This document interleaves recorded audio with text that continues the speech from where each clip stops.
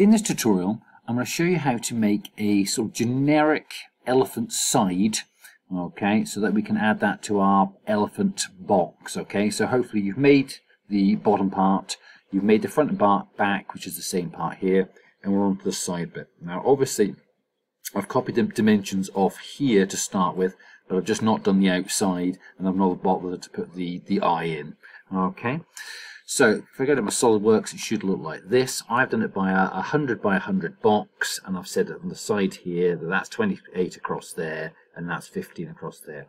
Um, obviously, it's underdefined because I've not done that the same with every one of those parts, but I know that all these bits here are kind of connected together, so I don't need to really worry about going from every single one to every single one. Okay, because really I just want this bit here in the middle. Okay, so I've done that um, I need to extrude it by 3 mil.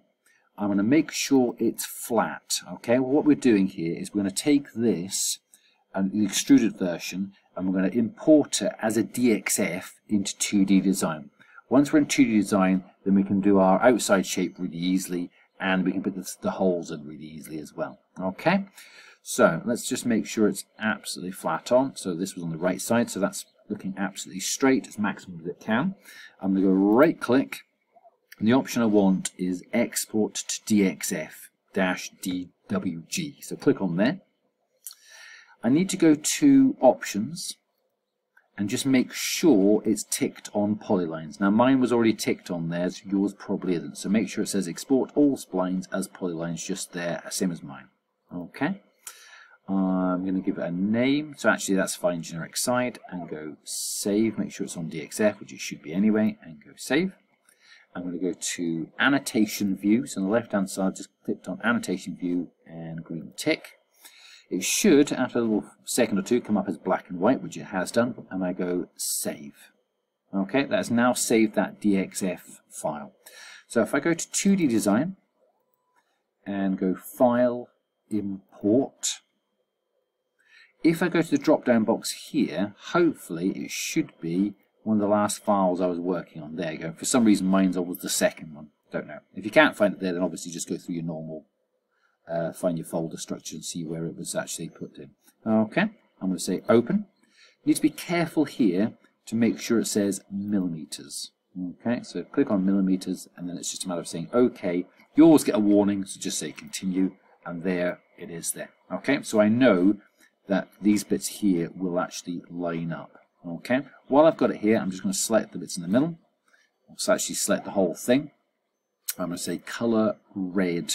Okay, obviously red is for cut. So that would cut me just a very square um, 100 mil by 100 mil box. And obviously that's a bit boring, so I want to add extra bits and pieces to that. Okay, so to, uh, what shall I do first? Okay, first of all, I'm just going to remove this outer line. Now to do that, I'm going to select the whole thing, and I'm going to go Control and E for explode. Okay, it sounds more exciting than it is. All right, but Control and E to explode, and just say continue.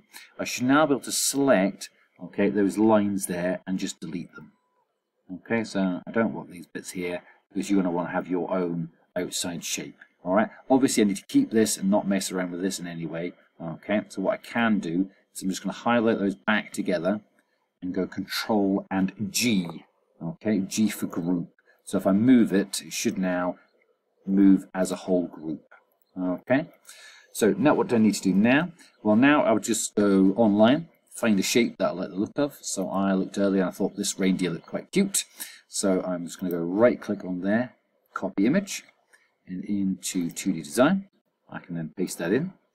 If it comes out massive, which this one obviously is pretty massive, I'm going to hold down the shift button and I'm just going to grab a corner and shrink that down. Okay. Now I've obviously got to think that it's going to go over the top of there. Okay, so it probably wants to be a little bit bigger. Okay, because these squares need to fit into the side of there. So I'm just going to go a little bit bigger. That's probably okay. Now what I need to do is obviously I need to vectorize the image and contour it and then add some circles in. Okay, so let's do that now. So go to bitmap at the top left, down to vectorize, and click on that image. Always go monochrome, and you slide to the right, always a little bit darker than you think, so that looks okay. and say OK, OK. All right.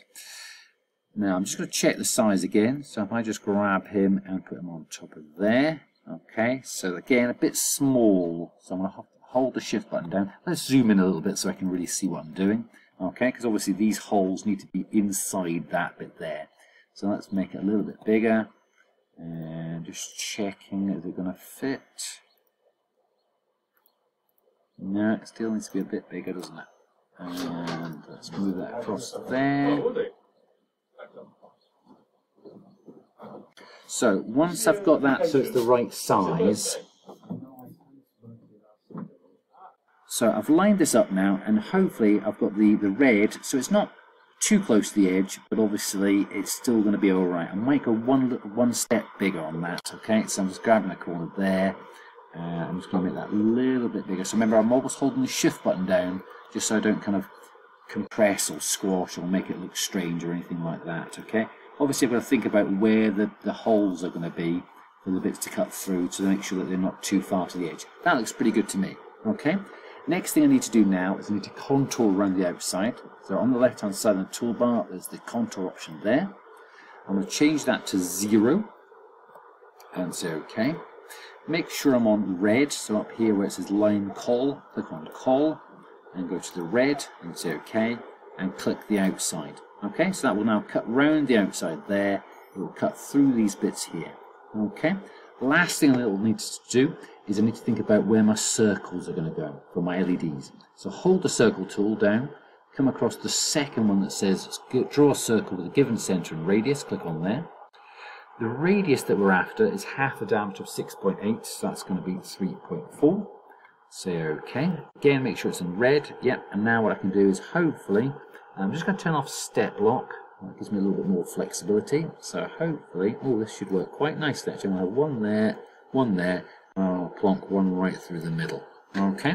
Now that's done, I'm happy that I've got a red line all the way around the outside, that nothing's going to fall off. These bits are going to cut through there, and I've got my holes for my LED. Okay, I can now obviously save that, and then I can email that to the laser cutter. When you're emailing to the laser, make sure you open up Outlook, and the laser cutter, the address is L-A-S-E-R-C-U-T-T-E-R. All one word, and if you click on where it says at the top check names, it should go underlined, and you know it's the right address. Hopefully that's been useful.